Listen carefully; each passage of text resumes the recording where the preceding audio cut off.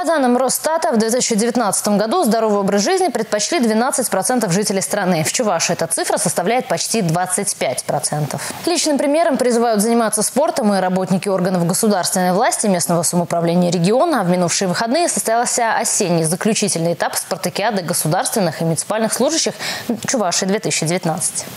Один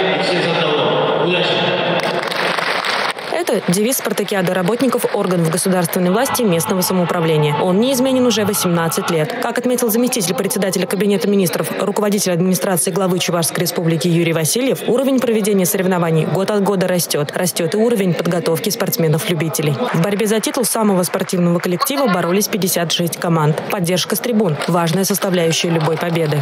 Мы пришли очень воодушевленные, а, как бы весь коллектив тоже очень болеет за наших спортсменов.